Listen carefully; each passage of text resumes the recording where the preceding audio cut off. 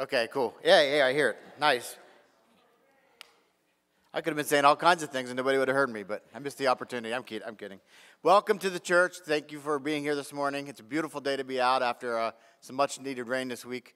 Um, although hopefully nobody got caught up too much yesterday in the, the torrential downpours that we got, a couple of them. But um, so, and glad to see the Millers here. And uh, yeah, fun story about that. Nathaniel graced their party. Um, yeah, so they've been so patient and kind. He decided he wanted to go in and have some cake while I was in the office working. And uh, I had put him in the nursery, and, you know, up until yesterday, he didn't know how to open the door. Yesterday, he found out how to open the door. So I went over, the door's open, he was in the fellowship hall. One of the sweet ladies was coming out, wiping off his hands after he had gotten into some cake. So, um, yeah, so fun stuff. But uh, yeah, so that was all the fun of having to move the party inside. Thank you for your patience with that. But uh, we're glad to see everyone here. And we are going to go through some announcements this morning. I'll first open it up to anybody who has some. And uh, just an announcement about the announcements. I want us to be looking, thinking ahead about maybe if we can get any announcements that you have in by Thursday. I know sometimes things pop up last minute. So we can get them in the bulletin. You'll notice in the bulletin we're trying to put some things in there so that you remember them through the week. And the reason we're doing that is a couple things. First of all, there's a lot of stuff coming up, as you're going to see or as you've seen. And uh, we want to make sure that people are aware and able to come to those things. But obviously, the more things that come up, the more announcements we might have. And we don't want to make the service get too long with a lot of announcements that way. So if we can publish them on the PowerPoint and the bulletin, uh, that would be great. So if you have anything that you wanted posted, and that's prayer requests, praises, announcements, if you can send them into the office by Thursday, we can make sure they get out and uh, get properly um, notified. Uh, Terry, I think you have something? Yes, good morning. So, uh, two things. One, York Revolution baseball game, the sign up sheet is in a narthex. So, if you would like to go to the uh, see the Revolution play in York, the game time uh, the, the game is on August the 5th. Game time is 6:30. But also, too, uh, like I said, the sign up sheet is out here in the Narthex. The last that we can order tickets to get that date is July 16th. So, uh, if you can sign up then, that would be great. No money needed at this time. Uh, we will get the tickets and we'll hand them out to you. So that is the, the game day is August the 5th, and it's at 6:30. Also, too, um, we had started up that new ministry that we talked to you about before. It's called Helping Hands Community Outreach. Helping Hands Community Outreach. Uh, this is for anybody that you know of that, that's in need of help. Uh, we can help them monetarily if, uh, if we need to do that. Also, too, we also had the backpacks that if there was a fire, there's actually like shampoo, uh, different personal items in those uh, backpacks as well. But I want to make sure that you guys knew that uh, that uh, outreach is going. We actually had our first person this past week that we actually helped out. Uh, also, too, information about this ministry is on the table in the narthex as well. So, thank you. Thank you. Good morning, Caitlin Hall here. This is your weekly VBS announcement. We are still looking for volunteers, uh, but mainly today, if you have signed up to volunteer on July 23rd, it's the day before VBS starts, that's when we're going to have our volunteer meeting just to kind of take you through the week, give you the basics and anything else you would need. So, July 23rd, right after church, is our volunteer meeting, and that's also the day we're going to be doing a lot of the setup, um, decorations, and that's open to anyone. If you have an hour after church and would be willing to help, we'd love to have you. Thank you. Thank you. And one other thing, I'm just trying to figure out here. Um, we're going to go through some of the announcements real quick that I want to mention, and then um, we'll get on with our service. Just a reminder that we do have the prayer room. It's available right over here in the corner of the church. Uh, and it's, it's appropriate because in the corner of the church, and we think of Christ as our chief cornerstone, and so it's a good place to sit and, and approach Him for prayer. So certainly feel free to use it throughout the week, after service, before service. It's always available. Um, and then the story hour this Tuesday. So you have, children or you know people with children and you want to come and have a story and the craft and some snacks. That's this Tuesday at 10 o'clock.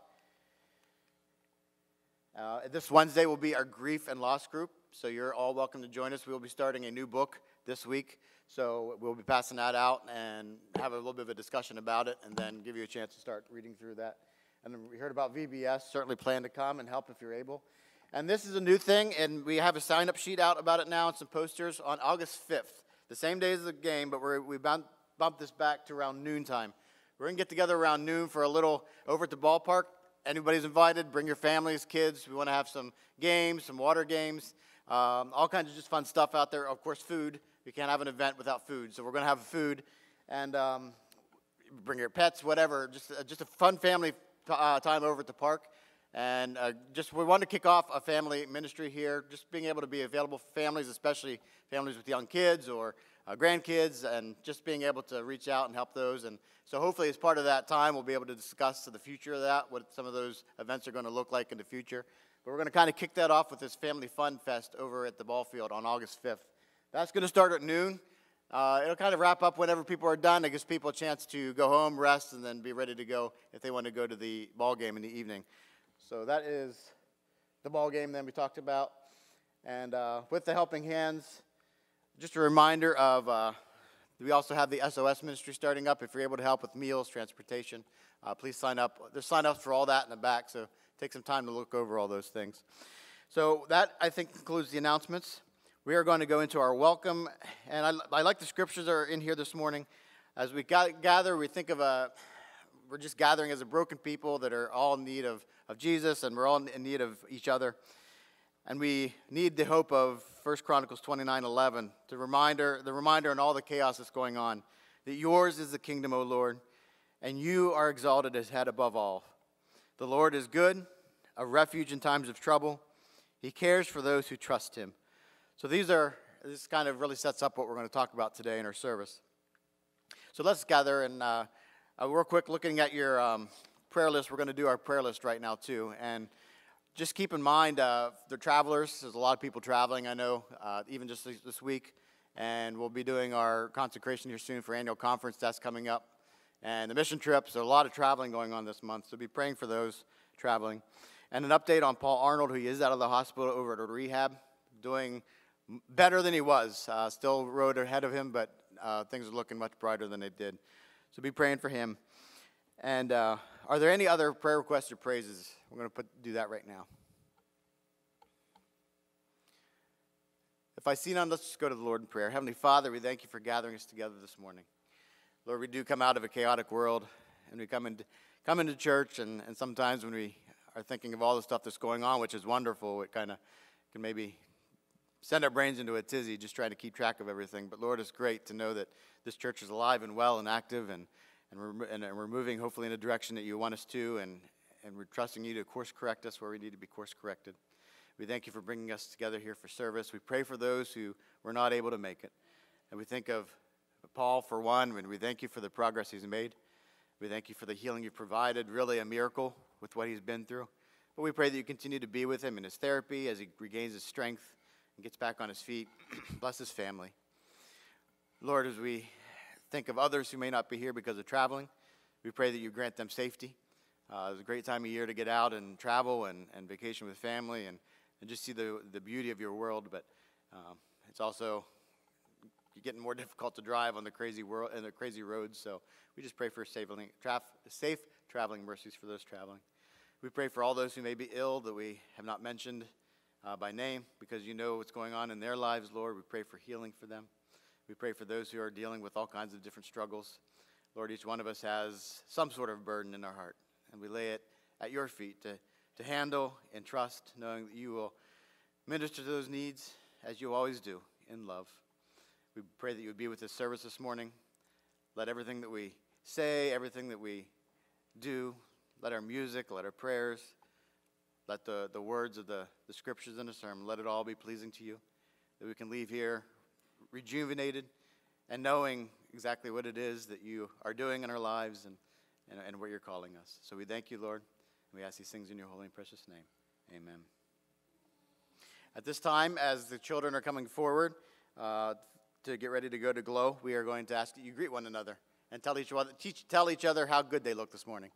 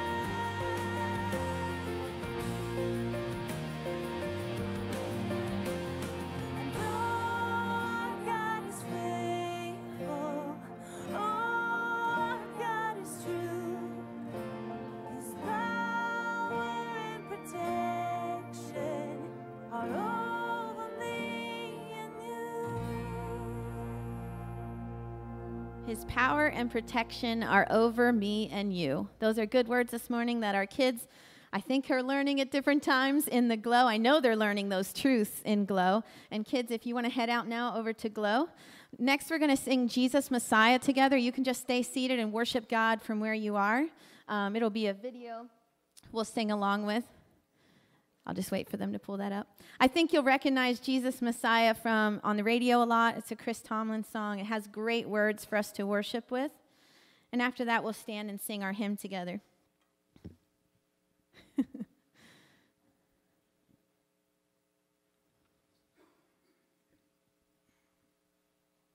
it is. Feel free to sing with me and worship God together.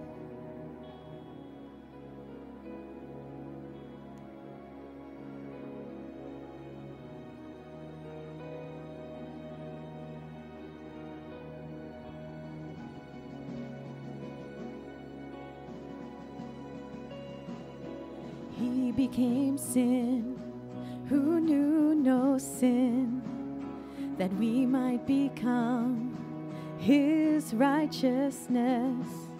He humbled himself and carried the cross. Love so amazing. Love so amazing.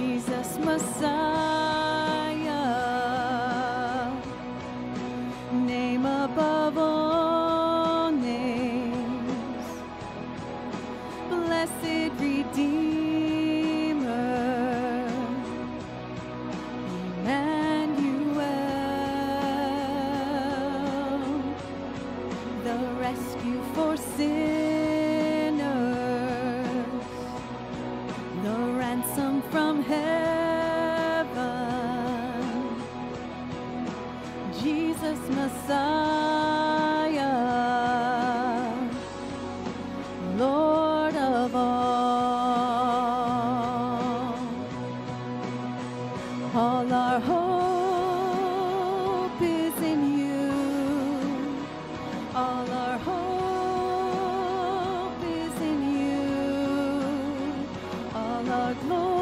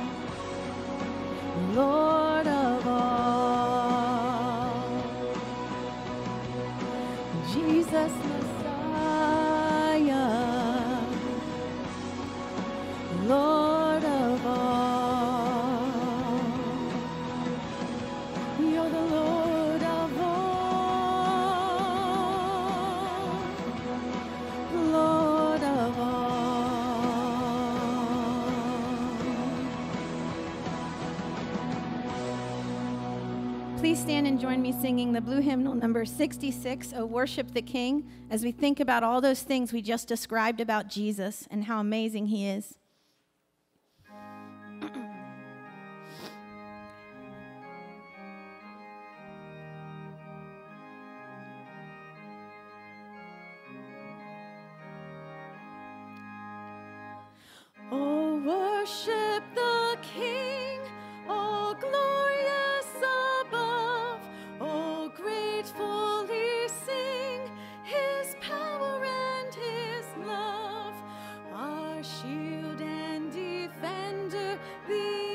The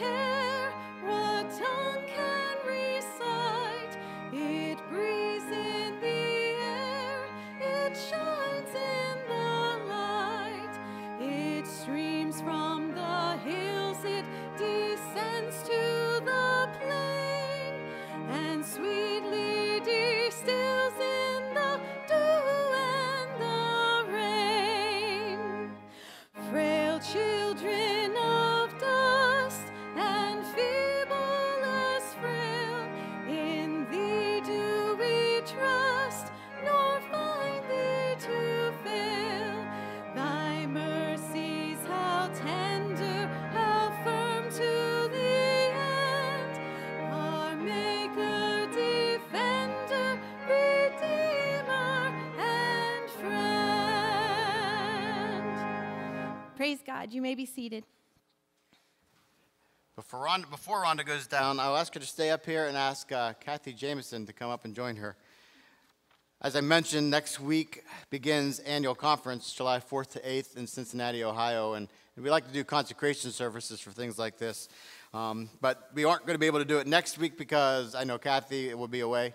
Um, and the next week we are going to be doing a different consecration for the mission trip coming up. So there's a lot going on in our church, which is great.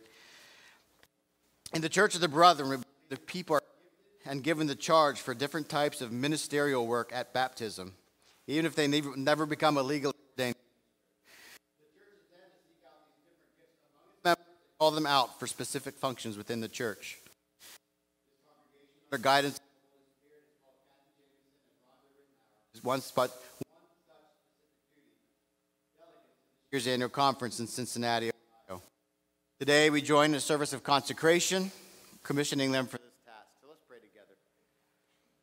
Oh God, we give thanks for all people in this church that have responded to your call in Christ Jesus to be workers with you.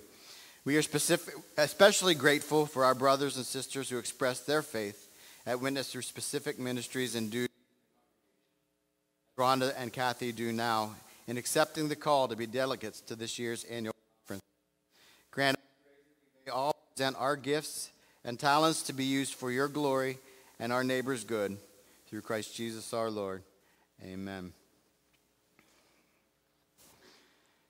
Our delegates to annual conference represent this congregation and share in decision making with the larger church. This year's people given that task, as I mentioned, are Kathy and Rhonda. Rhonda and Kathy, God has called you to be delegates of this year's annual conference in Cincinnati. We thank God for you and your willingness to respond to this call. We believe that God will empower you for this ministry among us. And so we invite you to make your commitment by responding to the following questions Do you willingly accept the responsibility to which you've been called? And do you promise to be faithful in fulfilling that responsibility? If so, please say, We do. Will you seek to live a life worthy of this trust, exemplifying Christian faith and spirit in all you do? If so, say, We will. Will you be prayerful in your decision making and vote casting process at conference? And will you prepare yourself to becoming familiar with congregational, district, and denominational policies and ministries? And you, will you prepare through regular Bible study, prayer, worship, and sharing in the life of this faith community? The congregation, if you're able and willing, please stand.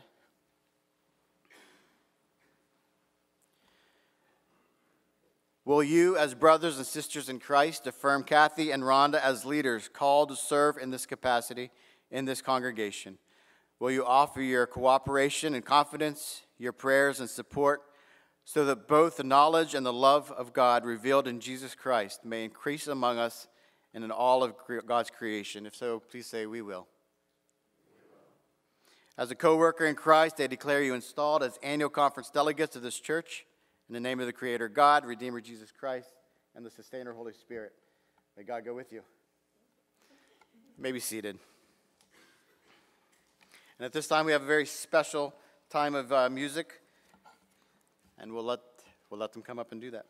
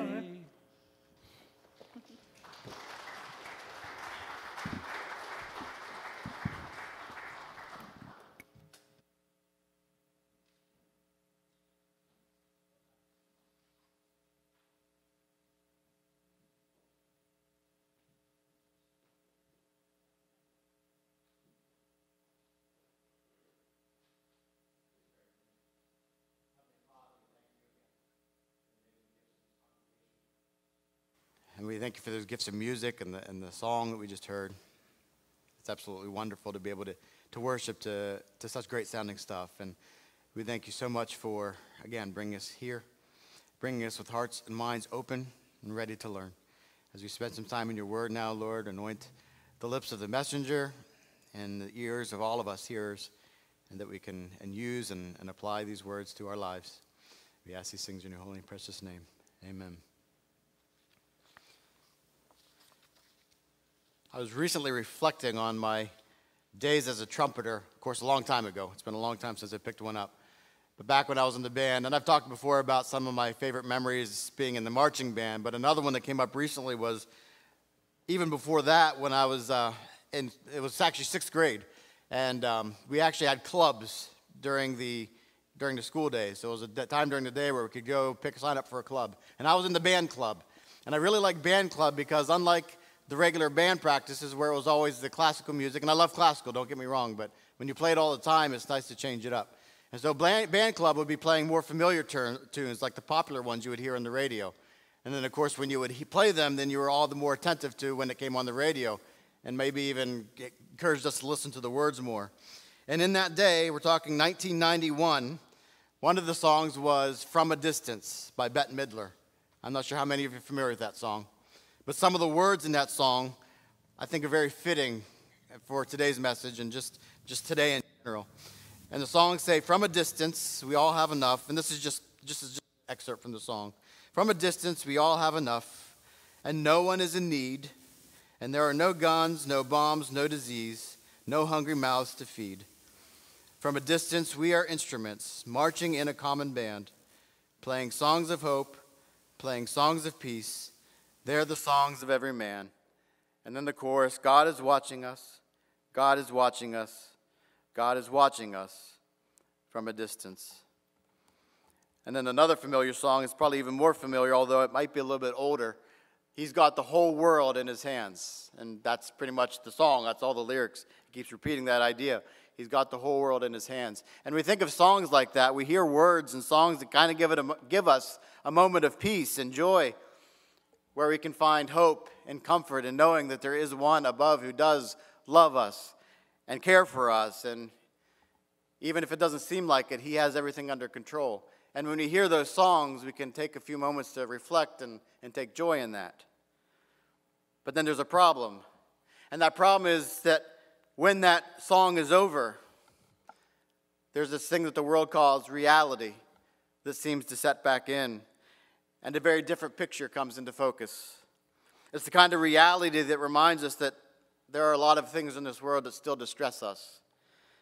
Just a week ago, reports came out that showed that we were wrapping up what has been what seems to be one of the most brutal weeks of violence in our nation's history, with countless amounts of gun violence marked in so many cities across the country. It's the kind of reality that has a world mourning over those in that vessel that went down to see the Titanic this week and never came back up. It's the kind of reality that reminds us that our money is not safe with scam after theft after robbery. It's the kind of reality that reminds us that there's still a lot of hatred out there in that world. It's the kind of reality that causes some people to ask some very, very tough questions and see if these questions don't sound familiar the very first one is why do the wicked seem to prosper? And maybe it's some comfort to know that we're not the only ones that ask that. These questions were asked, being asked thousands of years ago. And today we're going to look at a passage that starts to think about that. And it's just one of several examples in the Bible. Isaiah chapter 65. And you know, I always like to encourage you to have that open because we're actually going to be jumping around in this passage. We're going to start a little bit later in the passage to help you to get to understand what I want to get across. So the whole passage is going to be 1 through 9, but we're actually going to start at verse 3. And verse 3 is talking about these, these wicked people. A wicked, a, described here as a people who continually provoke me to my very face. And this is God speaking through Isaiah. People could provoke God to his very face, offering sacrifices in gardens and burning incense on altars of brick. And this is talking about some of the cult pagan type activities that were going on at this time. Verse 4 who sit among the graves and spend their nights keeping secret vigil. Basically, today's version of a witchcraft type of, type of thing. Who eat the flesh of pigs and whose pot holds broth of impure meat. And of course, this was in the day before Jesus when eating pork was not okay. People who say, Keep away, don't come near me, for I am too sacred for you. This would be a lot like the New Testament Pharisees, those who carried this holier than thou attitude. God says, Such people are smoke in my nostrils, a fire that keeps burning all day. And again, that's just one biblical example. We think of Job, who was often lamenting about the wicked that seemed to prosper. Jeremiah, the same thing. Psalm 73 is a great place to go if you want to find somebody in the Bible that can lament with you about if you with you about the, tire, the tiring of the prosperity of the wicked. This psalm was actually written by a person by the name of Asaph. He would have been similar to today's choir director or, or worship leader under King David. And even he, just like many others in Scripture, was weary of this injustice. And I'm not going to read the whole psalm right now. You can do that on your own, but just to pick out a few parts here, starting in verse 3, he says, For I envied the arrogant when I saw the prosperity of the wicked. They have no struggles, their bodies are healthy and strong, they are free from common human burdens, they are not plagued by human ills. Verse 7, their minds stand out with fatness. In other words, they have more than their heart could ever wish. Verse 12, this is what the wicked are like, always free of care. They go on amassing wealth. Does that not sound familiar? Isn't that how we often feel? And so, as we think about those words, it brings us then to the very natural second question. On the other side of the coin, why do the good people seem to be the ones that suffer the most? Why do bad things happen to them? And sometimes these questions go hand in hand, don't they? You might be some, there might be something that you have longed for all your life, maybe financial prosperity, maybe that, that perfect house, maybe even something as simple as a child.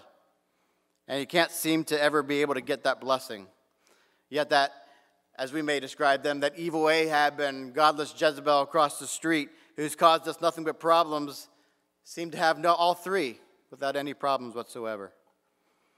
We see these injustices all the time on TV and we ask why. Why do these wicked, arrogant, selfish people seem to get everything they want while I work hard every day trying to do the right thing, caring for others, being as faithful as I can, and then getting the short end of the stick? Again, does any of this sound familiar? This has actually been the subject of many debates about the goodness and even the existence of God. Why would he allow such injustice to occur if he's such a good God? It certainly doesn't make sense. And so many have simply come to the conclusion that God must not be that good, he must not be as powerful as he says, or he must simply not exist. And then, if that fruit basket wasn't already upset enough with all these thoughts, we then all kick it off a cliff when we go back then to Isaiah 65 and then we read the first two verses of this prophecy. God says, I revealed myself to those who did not ask for me. I was found by those who did not seek me. To a nation that did not call on my name, I said, Here am I, here am I. All day long I have held my hands out to an obstinate people who walk in ways not good, pursuing their own imaginations. And then that's where verse 3 picks up going on about all the wicked stuff these people do. God actually intends to hold his hand out with their bless, giving them a blessing. How could this be so? It certainly does not sound like the justice we desire for the wicked, and it's, it's certainly every bit unfair. But my hope and my prayer is that you will be convicted with the thought that struck me this week as I studied this passage and that I came to be challenged with as I thought of a series of understandings that I had arrived at, and I wanted to share with you this morning. And these understandings kind of paint a different picture about the perspective God has and why these injustices seem to occur.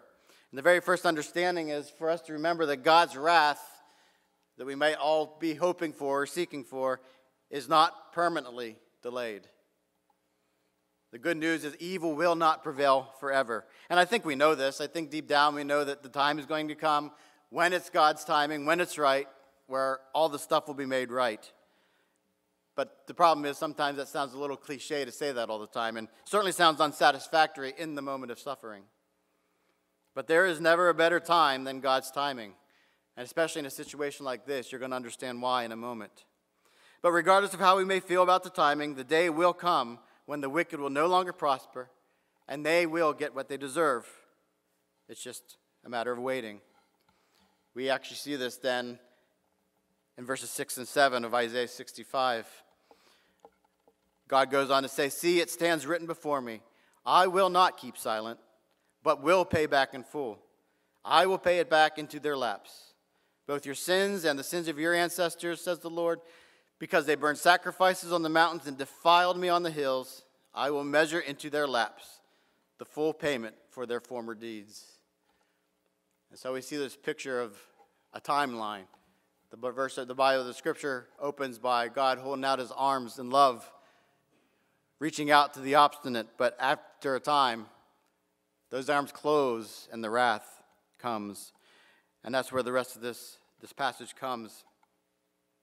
And so while we may feel comfort in knowing, but before we go to there, just another little caveat here, understanding number two.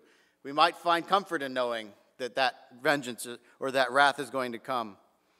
But we need to keep something straight in our hearts first, which is number two that vengeance, as much as we long for it, as much as we feel it's necessary, should not be our primary focus. And that's hard. It's very difficult when we think about the things that maybe have happened to us and, and we want justice. And what's even harder is the alternative pattern of thinking that we're called into realizing that there is a heaven, there is a hell, there is a lake of fire for the evil, that justice that we're looking for, and yet we are called to love people. And if we are called to love people, it should not be our desire for anybody to go there. And so our tar- alternative mindset should be to pray for them, that they would become convicted of that sin, that they would find Christ, that they would walk in the light of God and become one more story of salvation, one more testimony of God's love.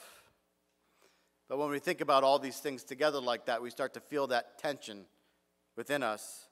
We want evil, we want the evil to pay for their wickedness, but don't we also want them to find Christ and find salvation like we found? And if that doesn't sound appealing, which admittedly it doesn't for some people, then we need to ask ourselves why. I think we all struggle with this tension in our spirits from time to time. I know I do. And it becomes especially apparent when you start reading other Bible verses like Psalms 24 17. I don't know how many times I've read this and been like, ooh, this is, I have not done well with this. 24 17, Proverbs 24 17, do not gloat when your enemy falls. When they stumble, do not let your heart rejoice. Why? Well, first of all, it isn't nice. But it's also not our job to think about that vengeance. We entrust that to the one whose job it is, which we find in Hebrews 10:30. When God says, "It is mine to avenge; I will repay," says the Lord. The Lord will judge his people.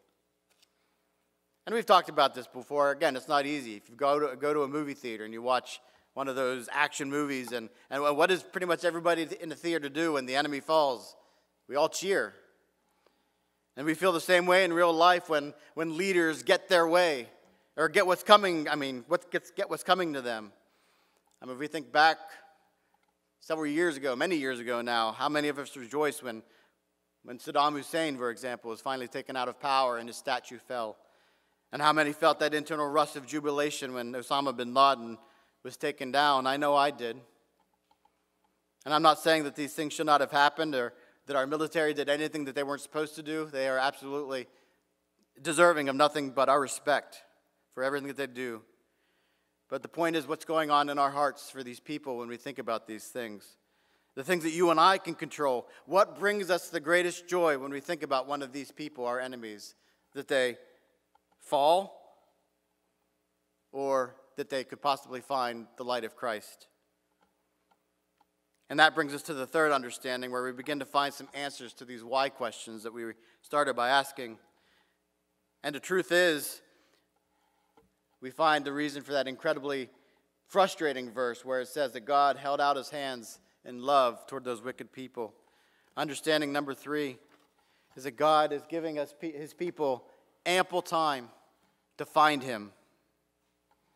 And this is perhaps the most important, pa- uh, most important point and perhaps the turning point of this whole thing. So I want us to listen because it's going to be even more so when I suggest a personal application of this here in a minute. But we are people by nature, in most circumstances, that want what is called instant gratification. I think we all know that in our, in our minds, but we heard that spirit, we heard that term a lot at Milton Hershey School when we dealt with kids. They want instant gratification. As we grow, we mature, and we can curb that a little bit, but it's still down in there. It's why we eat as soon as we get hungry, if possible. We drink as soon as we get thirsty. If we get tired, we sleep. And if any of those needs are delayed, what happens?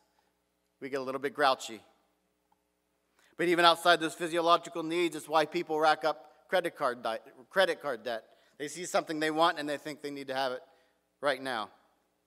It's why people react the way they do when they feel especially anger towards somebody. Then maybe they yell or they scream. Maybe they punch, they get into a fight. And as we see more and more of today, they just flat out kill. We want that satisfaction. We want that relief, that release. We want that now. But God says, no. You let me take care of that justice in my way and in my time. As for you, don't wish for their demise, but pray instead for them to use the time I am giving them to find them and follow me. Romans 9 22 to 24, Paul says, he gets us to think about the same thing. He says, What if God, although choosing to show his wrath and make his power known, which will come in his time, but what if God bore with great patience the objects of his wrath, prepared for destruction? What if he did this to make the riches of his glory, namely that of salvation, known to the objects of his mercy, his loved ones, his people, whom he prepared in advance for glory? Even us, whom he has also called, not only from the Jews, the, but also from the Gentiles. Yes, he could choose to unleash immediate wrath on the wicked, but he loves his people so much that he has chosen to wait in patience waiting with what the Bible calls long suffering. Maybe you've heard that term before. We know it is a synonym for patience, but literally it means suffering for a long time for the sake of allowing plenty of time to pass for His glory to be revealed, as well as His riches, His promises, hoping that one day people will get it and latch on to that. That's why Isaiah 65 prophecies that says that He's stretching His hand out over those people, lovingly waiting, hoping that they'll come to him. And he's waiting for his world to be his word to be spread worldwide. It's just not a, a group of people. This passage said Jews and Gentiles. Paul says in Galatians 3:28, there's no leader, there is neither Jew nor Gentile, slave nor free, nor is there male or female, for you are all one in Christ Jesus. That gift of salvation is offered to all who would accept. And he's giving us time to accept it. And of course, it was Jesus Christ that becomes the reason for the delay, who we're hoping the people will reach out to for salvation. Our closing verses for today's passage Isaiah 65, 8 through 9. This is what the Lord says As when juice is still found in a cluster of grapes, and people say, Don't destroy it, there is still a blessing in it. So will I do in behalf of my servants. I will not destroy them all. I will bring forth descendants from Jacob and from Judah, those who will possess my mountains, my chosen people will inherit them, and there will my servants live. He's talking about, you know, if you find a cluster of grapes, there's maybe a few good grapes in there, a little bit more juice in there. So, not destroying all that cluster for the sake of those good ones. And he does that for his people. And it's only by the blood of Jesus that he came. Excuse me, it's only by the blood of Jesus that people can have that wardrobe of wickedness removed from them. And as Paul says, put on instead the new clothes, the white clothes of purity and righteousness. And for the sake of those that would come to Jesus, God is delaying his wrath to give them a chance to realize how much they need that. And then that brings us to the final understanding. That, that time is not forever. It does, have a, it does have an end date. And people are ultimately going to have to make a choice. God has already given people a nice chunk of time, at least 2,000 years, to decide the path they want to travel. whether they want to continue down that path of wickedness or if they want to reach out to the one who can take them off that path and put them on his. We know that that's what God has done, but what we don't know, unfortunately, is how much time we have left to make those choices. How long God will keep that door open. We don't know when the deadline is. See, God is very aware that the drawback to this delayed judgment is that the wicked will continue to lurk among us. That some that will never find Christ, and those that will continue to wreak havoc and cause the suffering of our people. That's at least one reason why God allows the suffering and why the wicked seem to prosper. He's delaying, trying to give people plenty of time to find him.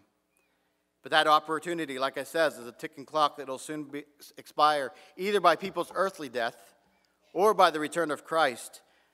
Now, if there's one thing we don't know, it's when either one of those things will happen. So, as it turns out, God does know what He's doing, even when it doesn't seem like it. And God is working in the best interest of His people, even when the natural reper- repercussions of that are painful for a time. As an anonymous Amish, as an anonymous Amish person said this week uh, in one of Rhonda's letters that she types out, if all were easy, if all were bright, where would the cross be? Where the fight? For in the hard places, God gives to you chances for proving what He can do. Paul says it this way in his letter to the Romans, chapter 8, verse 28. And we know that in all things God works for the good of those who love Him, who have been called according to His purpose. So here's the thought that struck me this week as I was looking through all this, and that I want to leave with you. And again, I really want you to hear this, so, so listen in here. Bear with me for these last couple minutes. If this idea of God's delayed judgment, which admittedly prolongs earthly suffering for a time, if that doesn't sit well with us, if we don't like that He's waiting for this, this wrath to be unleashed, then we need to spend some serious time thinking about the alternative. See, if God had done what we wanted Him to do, as we often accuse him of not doing. He, if he would have given us our way, you know, in the sense of based on this idea of instant gratification, where the wicked are destroyed right now so we don't have to suffer, we would actually be in a heap of trouble. How so? Well, we started this morning by talking about the wicked, and we commiserated together about how they can make our lives miserable, how they prosper, and how they have everything that we don't and how they get the benefits that we don't. That's a good old fashioned game of we and they. But to play this game properly, we need to figure out who they are, who all falls under that category of wicked. And by contrast, who then are we? Do we put ourselves under that category of good? I mean, I, I, like to think that about myself sometimes. I try to. I try to do the right things. I try to be good. But what does the Bible say have to, have to say about that? Romans 3:10, as it is written, who is good? As it is written, there is no one righteous, not even one. Why? Verse 23, for all have sinned and fall short of the glory of God. Have we ever stolen? Have we ever felt hatred toward one another? Have we ever lusted? Have we ever told a lie? I cannot speak for anyone else, but I do not fall under that category of righteous because of the sins in my life. And of course, it would be very easy for me to play the comparison game. Well, but at least I haven't murdered anybody, or, or I haven't committed grand larceny, or, or I've never held anybody at gunpoint. I love to try to be kind toward people and, and do the right things, but it doesn't matter because I have sinned. And my sin has contributed to the suffering that people are tired of and that causes those questions that misrep- misrepresent the real God. Because of that, I, by definition, fall into that they category of the wicked. People don't like to think about that, but it's just how sin works, whether we like that or not. It doesn't matter what the deed is. If it is disobedience toward God, what he said in here, it's sin and it's wicked. So, had God given us his, our way, and he had given into our desire for immediate gratification, he would have wiped me out a long time ago. and given me the death I deserved as soon as I committed that sin that made me deserve it. And I'd be finished. No chance of salvation, no chance at ever seeing the kingdom of heaven. So, do I get sick of the wickedness I see going on around me, despite my own participation in it? Yes. Do I suffer? Yes. Am I tired of that? Yes. But even though that is a result of the time God is giving us to find Him, am I glad that He allows that time to pass? You better believe it. Because it's the only reason you or I or any other Christian in this world has a testimony on our lips that we can share with others. As we're often reminded, even if it doesn't make sense to us, God absolutely knows what He's doing. And it absolutely is for the benefit for each one of us, of each one of us that He loves, each one of us gathered here, and for those that aren't here, and those who we are only hope will one day join us in heaven. So I don't know about you, but I thank God for those upside down ways that He works sometimes. Let's pray together. Heavenly Father, thank you for working in ways that we don't understand. As we discussed last week, we know that earthly wisdom can get us into trouble sometimes.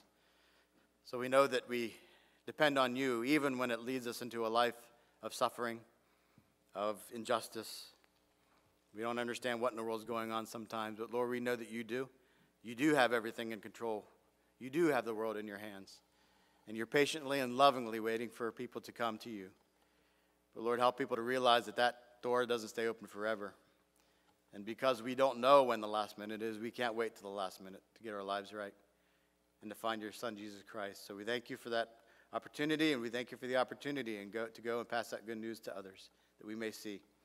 We ask these things in your holy and precious name. Amen. Amen. As you turn to your red hymnal, number 400, I'll just share with you a quick story to think of as we think about what Pastor Eric shared. And we had a young girl in our home. She was about six at the time. And she said to me randomly, Mrs. Ridnar, do you know what my favorite scripture is? I finally found it. I was like, oh, what could it be? And it makes me think of today in our message. She said, it's Jesus wept. I was like, oh, well, that's an interesting verse to, to pick out. And I said, why? And she said, well, because now I know he cares. And for a little one at six who we knew had already gone through a lot of pain and suffering and loss, for her to connect with that, that's amazing. And that's what we can sing about as we think about what we learned and we think about this song. So please stand and join me with 400 Does Jesus Care?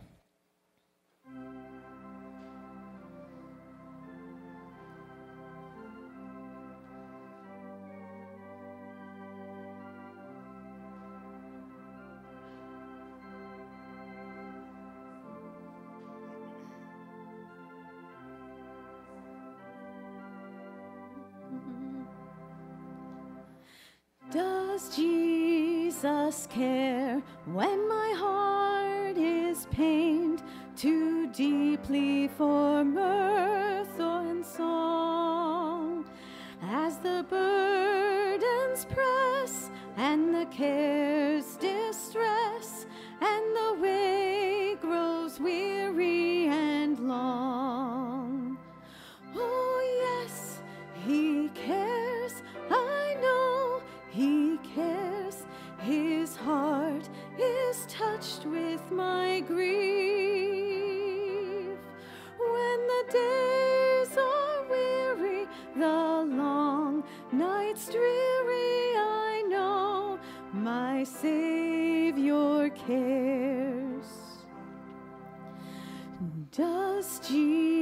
Jesus care when my way is dark with a nameless dread and fear?